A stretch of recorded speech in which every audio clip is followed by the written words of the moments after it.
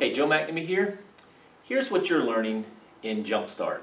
So I made a, a quick little simple list just to clarify what's going on in Jumpstart. So you're learning the basics of building a buyer's list. It's all about marketing your terms. So if you're not sure about that, go back to the module about building a buyer's list and focus on that, marketing your terms.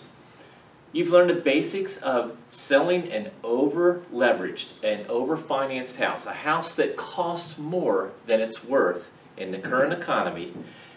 If you can sell a, a property like this and get your profit up front out of that deal, which is very easy to do when you focus on what I've taught you on that part of it, then it's easy for you to do any other type of real estate at all. If you can do an over-leveraged house in this economy where you owe more on it than what it's worth in the current economy and still make money off that up front, then you can do all the rest of it. And it takes nothing more than a sixth grade education to be able to do that one. You're learning how to structure deals with buyers and sellers and which forms and contracts to use. This is a very simple process. These forms are not complicated at all. The forms that I've designed and then my attorney has blessed for my local area, you're going to take those contracts and show them to your investor-friendly attorney and have them fine-tuned for the area that you're working in that makes your attorney comfortable and complies with the laws of the state that you're doing your business in or the country that you're doing your business in.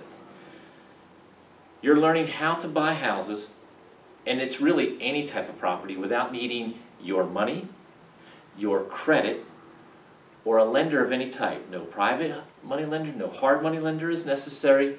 And then the next thing is, more importantly, which I really like this part here, when people wrap their head around this and they understand risk-free investing, to have the property sold before you commit to it. And lastly, but not least, you're learning how to determine what is and what is not a deal and how to pre-screen that out at lightning speed so you're not wasting your time on things that are not good deals. Alright, so that is the basics of what you're learning in Jumpstart. If you feel that you haven't uh, got a good grasp of that, go back to the modules that you've already been in, or if you're coming to this for the first time and seeing this in the beginning, focus on what I just told you. Those are the things that you're learning in it. Why and how this system works so well and it's not a system that's not tested. This is something that I've been doing for many, many, many years in my real estate investing business. I didn't say to you this is something I've been teaching for many, many years, even though I have. What I said to you, this is what I'm doing in my real estate investing business. This works really well. All you got to do is wrap your head around what I'm teaching you in Jumpstart, and you'll have success. I'm Joe McNamee.